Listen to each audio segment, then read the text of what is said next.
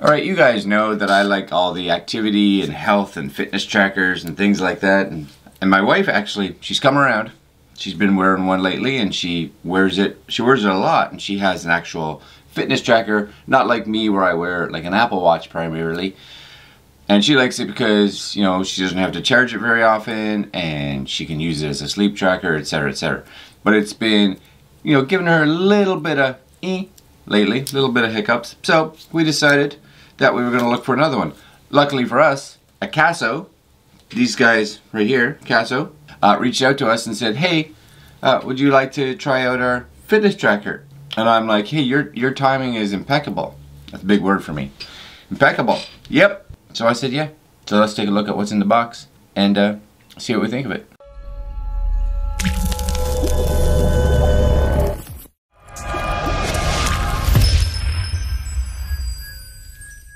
Alright guys, so this is the Akaso Fitness Watch Health Band, whatever you want to call it. It says Akaso on here. Let's see what it says on the back. Uh, made in China, of course. Akaso Fitness Tracker for kids, women, and men. Just so you know. Product specs. Fitness tracker screen is 0.96 inches.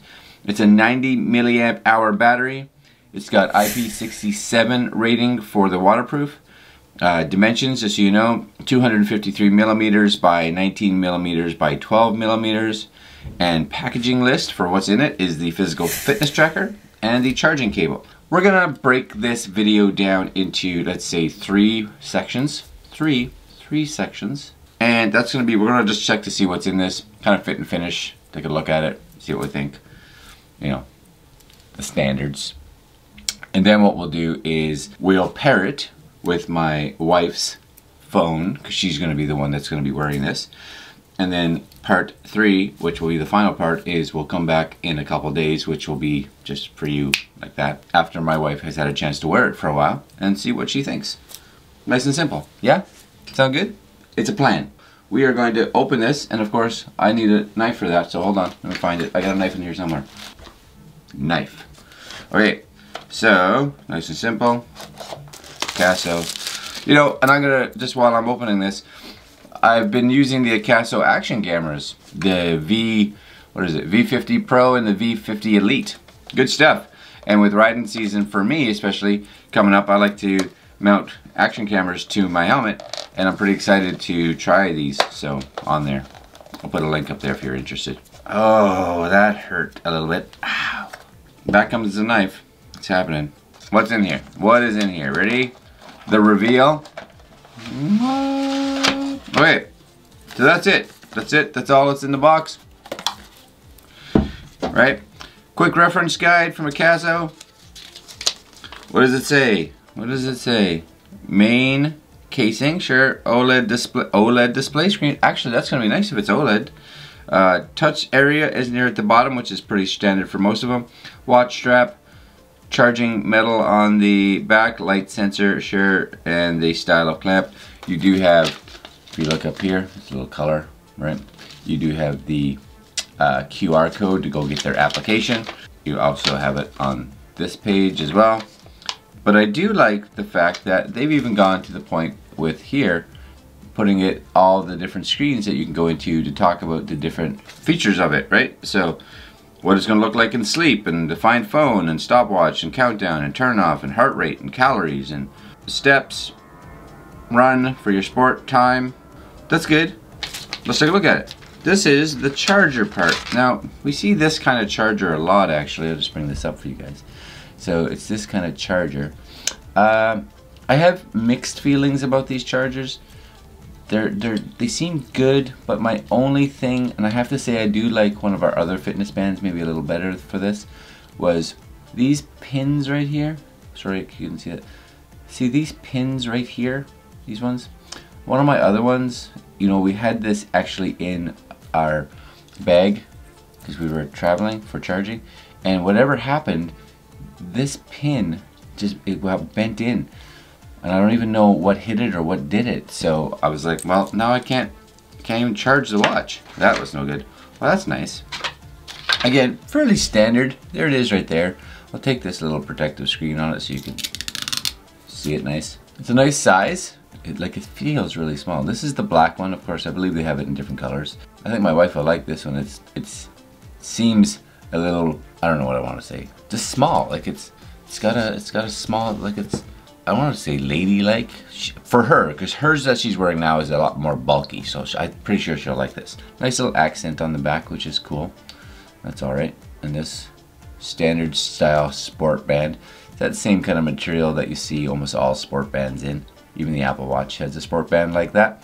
Uh, on the back here is going to be your heart rate sensor. So that should be all right. And there's those, see there's the charging pins. So right there, right? Those are the pins. So this would, just give you a little, oh yeah, it kind of says, don't do it this way, but do it this way. Okay, so bring it like this. Don't do it like the top, do it like the bottom.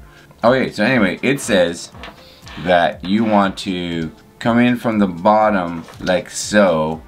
So this would go like this, I'm guessing, like that. So that's how you would charge it. The other thing I like, and the other reason I'm not a huge fan, and you know what, of these, this style, and I get it, it's, I, I have a couple of these now, so even if I break this one, it's not gonna be that big of a problem. But, is that, you know, because of how this goes on, I'll show you again down here, right? It's easy to be kind of misaligned. You put it on and you're not really paying attention and all of a sudden it's not charging. Her other one, the strap comes off here and there's a USB so you literally just plug this into the computer. So there's there's no failing on that. You plug it in and you're golden. We're going to continue this video in a second and we're going to bring up her iPhone and connect it to it. But first before then I'm gonna go charge this to make sure it's fully charged. So we'll do that and then we'll be back. Alright guys stay tuned. Alright guys so we've got my wife's phone right here we've got the guide. So we're gonna go grab the uh, app. So let's just do this right here. Should be nice and simple. All right, let's see. Bring up the camera. Cool. Download. Yep. So she must have had a band before that had used this because uh, it basically said we had downloaded it before, but didn't have it. So hopefully that's not going to be an issue when we open this. So, open. So it's called H-Band. Location when you're using the app, always allow. Let's do only when using the app. I'd like to send you notifications. Sure. I don't know. Let's let's try to see if she's logged in. One sec. Hold on. All right. So she had an account. We're back in and running. So first thing that we get, which comes up, which is actually excellent, and this is on an iPhone, so it'd be a little different if you were connecting this to an Android, is you'll see that it prompts the health app and if you would like to send this information to the health app. Now again, this is a huge perk to start seeing a lot of these third-party apps and fitness trackers and things like that actually utilizing the health app because I find if that feature is not there, I, I, I automatically am like, no, I'm not interested. So we're gonna turn all these on so you can sync active energy, sleep analysis, steps, walking, and running distance. So that is good right? So we're gonna allow that. All right, so now it says, not connected, click to connect device. All right, so click, and it sees something, it sees two. I don't know why it sees two. Searching for H-band in the App Store, yep. Press and touch, no. Let's try the, let's try the bottom one. The one that said H-band. Bluetooth pairing request, okay. Pair count, sure. Whether to open bracelet female notice? Sure. Completed synchronization and we're synced. Alright, that should be good. That went away. I haven't used this app much so I'm learning as I go. So same kind of deal. Today, yesterday, two days ago, no steps reported which seems fair. This is this. Uh, let's go into up top here. This would be your analysis of all your sport, sleep, heart rate, etc., etc. for week, month, year. We'll go back because we have nothing in there as of yet. We go down so you'd have all your information also on this. And it has, for the ladies, menstrual period. So it actually has something to, and this is not something magical, it is something that you have to input. So, you know, when, when it starts, when it's ending, and then what happens is this is going to be able to give you notifications based on previous history as to what it's doing. So it says, please insist on wearing. That's kind of funny. Uh, let's go into settings. So in settings, we will have the device. Yes, shows the device here. So we tap on it. Do you want message notifications? If so, you can turn all these on. So you have phone calls, SMS. Let's do SMS for it. WeChat, GQ, Facebook, not GQ. It is Q, Q, Q. But if you wanted something from GQ, maybe touch base with that magazine and see what's going on. See if they can make it happen.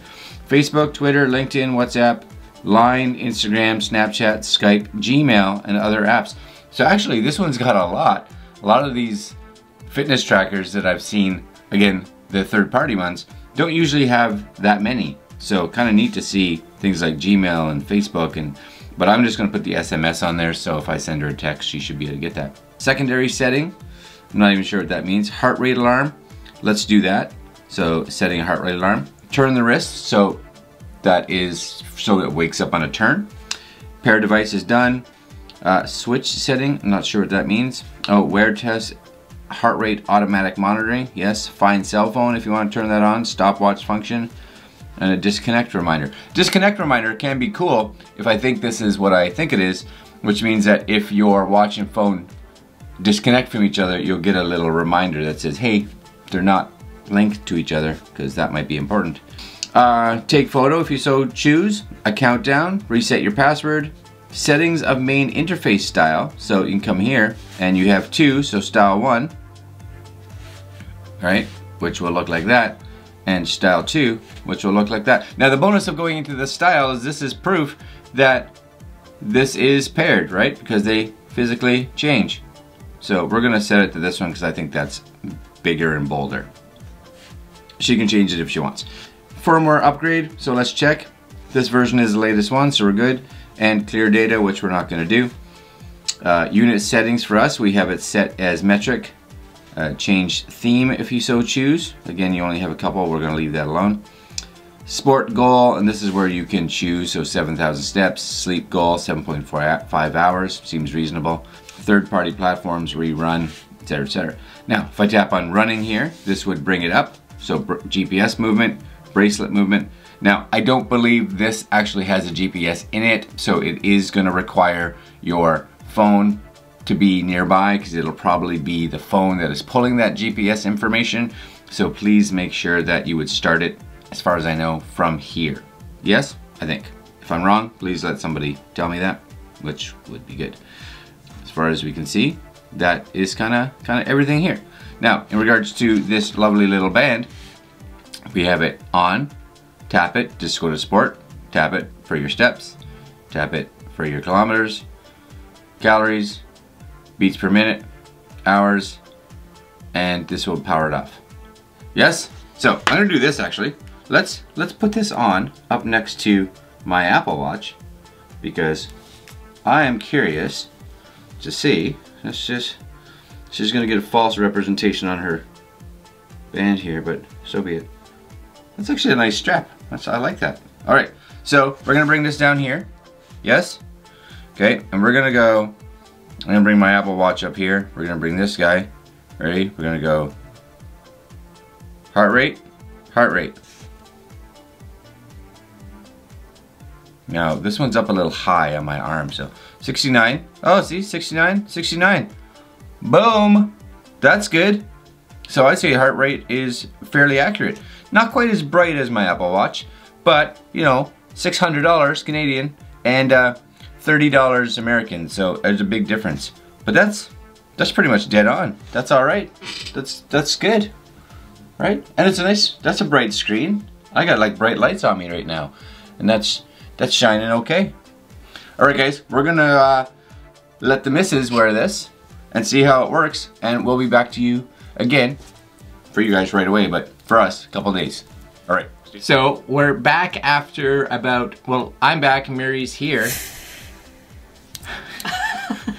after you've been wearing it for almost probably two weeks now, hey? Uh, I think a little more, actually. Actually, more than two weeks? Yeah, I've had to charge it twice. So. Well, that's pretty good. Uh, I don't wear it, so we knew that Mary would be the one that would be trying this, so I figured we'd bring her back in to uh, see what she thinks of it. So, after two weeks. It's good. Nice. there you have it. a full review from Mary. it's nice. Well, you, Good, I said. it's good. So you said two two charges, Uh, yeah, like I just charged it again for the uh, the second time. so it lasts you a full week yeah, on a charge. yeah. Right. Anything negative to say about it? Like what things that maybe you wish it had that or weren't as prominent as you'd like to see, maybe? Um, the only thing, uh, and it's more, I think, with me than necessarily the watch, is the I get my text messages show up, but I can't read them. They're a little too small, and they disappear. How are your How are your glasses? I need new glasses. Right. so maybe that's not a. That's, that's why I said that's Right. more me, so it's hard to say. But the watch small. for sure. It is fairly small. Okay, yes. sure. And it just doesn't stay up for very long, and then it's gone. Is that something that can you can change at all? You know? I'm not sure. I haven't Okay, checked that. possibly. but we can always look. I can also just look on my phone. Sure. Right. Just, but it's, it's, a nice. good. It's a nice notification that Yeah, I it's have something. I just get it. The, Right. It buzzes, and then I look at my phone. That's really even with me and my Apple Watch. It's really just nice to know that something's there. right. right. Sleep stuff. Is it doing sleep things? I know you like to track sleep information Yeah, it tracks. It tracks the sleep fine, and it shows it in the uh, app. in the app when you sync it in the morning. Right. Uh, it does have a workout thing as well. I haven't been to the gym in Oh. a couple weeks. Yeah. so- But I know that I had tried it on before I let you try it on, and I actually put them both on together with my Apple Watch, and the heart rate was exactly the same Oh, as what the Apple Watch was pushing. So it seems it seems like it should be doing its job well. Usually the Akaso stuff is pretty decent. So comfortable though, like it's it is. Yeah, I like it. It's slim. It's slimmer than the other one I had. yeah. uh, and it fits nice on my wrist. The other thing I get is noti- I get these period notifications, and it's a little too many notifications. So that may be something I can adjust. App. But it's like, you know, the countdown to when you have your period, the countdown to when your period's over, the countdown to your ovulation, how many days you're ovulating. I'm like, okay, I'm good. No, I guess Some people may good. want all that information, Right. and I don't need all that information. Right. But I would think maybe if you're younger as well, when you get something like this, maybe you're just it's not as something that you're as aware of or it'd be nice to know that it was coming. Maybe. I would think that as you get older you kind of know your schedule more. Yeah. Well, I mean, the ovulation's good if you're trying to get pregnant or trying to avoid getting pregnant. Right. Good to know, I guess. Sure. But Yeah. I'm I'm guessing I can probably adjust the settings. I haven't looked at it though, Okay. so But overall it's good. Bright it's bright, it's easy to read Yeah. except for the text size and except for the text size. your bad eyes. yeah. Yeah. I got eight hours of sleep last night. There you go. That is good. 8 hours of sleep. All right guys, that's it. It's the best review ever on the internet right here. That's why we bring in these guest guests, the Experts. experts right here to tell us about it. Real life, real world. All right, that's it. well, if you want one, we're gonna leave a link down below so you guys can go pick one up because look at it, stylish, lovely, and if you wear glasses that probably work, maybe the text would be fine. It's possible. It's possible. All right, guys, I'm going to leave you there. Like, comment, share, and subscribe. And uh, we'll see you in the next video. Later.